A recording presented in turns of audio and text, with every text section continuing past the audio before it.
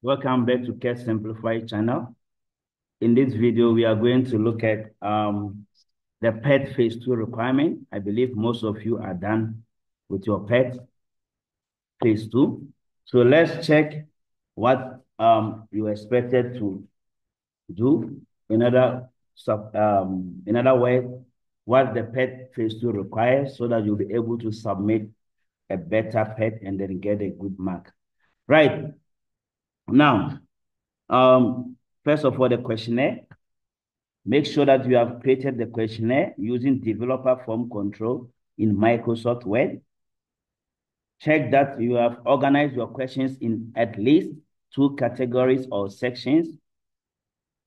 Include more close-ended questions, yes and no, multiple choice scale, multiple choice scale, and then also um, like agree, strongly agree, and others.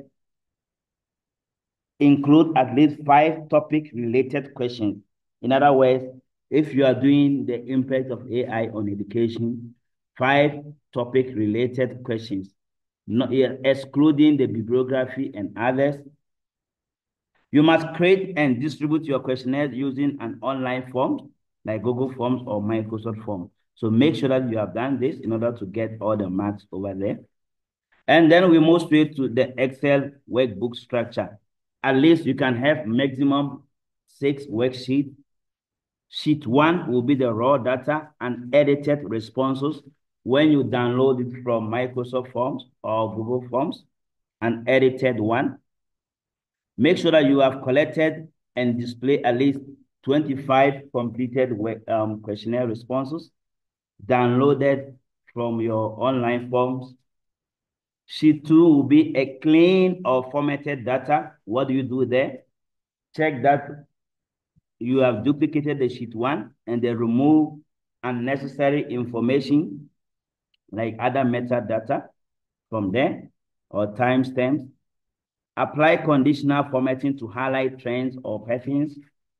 Apply data validation, at least one, and then make sure that Optionally, you have used these functions like the text function in sheet 2 or X lookup or date calculations, or you have used nested if, if, or lookup functions to convert qualitative data into quantitative data, which I explained uh, in phase two spreadsheet analysis. And then make use of data analysis tools like histogram and descriptive stats. Then sheet three, at least you can create pivot table to summarize the clean questionnaire data and use categories like count to display insight clearly, like by using the pivot table. And then sheet four, data analysis, check that you have used functions like count if and count ifs, average, sum, round, sum product, and the rest. You can also make use of round. Um, and, and so many functions so that you can check that it corresponds to all the four um, levels of functions. And then sheet five, separate the graph from the data analysis so when you do graphs, you must put it in another sheet, create at least three different type of graphs. In other words, um, pie chart, column chart, and then bar graph, and the rest. Graphs should have data labels, and then graphs should be based on count if analysis or similar calculations. Then your sheet six you have external data, then you import this data from another source, um, from website or other things which I talk about, because this external data will also be used in your database. Now, so the, that, the data will be used in your database section. And then also um, database access requirement what is expected from you regarding database. Then the database, um, you must have at least two tables. The first table will be the questionnaire responses. You don't have to choose all the questions, but it should have at least five um. So maybe you can choose five questions out of it. Now, all field types must be modified um, with a data type like text, numbers, and dates. Set the field size correctly into appropriate field size. Apply one input mask.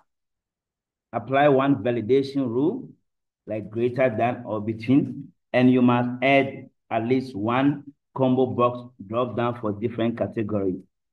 Then your second table can also be um, external data table. That is the source that you got, and then you capture them in database. Not necessary exporting or importing. You can even um, capture data from that sheet, and then you have appropriate field names, and then you can also apply at least one validation rule. Don't forget this table here, you can have the table formatting, but doesn't give you math. Then when you are done, then you create three queries. Three queries. The first query, a query for comparison using the operators like greater than, less than, between, not, and others, and then it must be sorted. Second query must also have criteria and sorted according to a specific or one or two field. And then you must have at least one calculation, one calculated field. And then the third one, you can make use of aggregate function, like the sum, AVG, or count. Then you must also have one report. The report, at least one.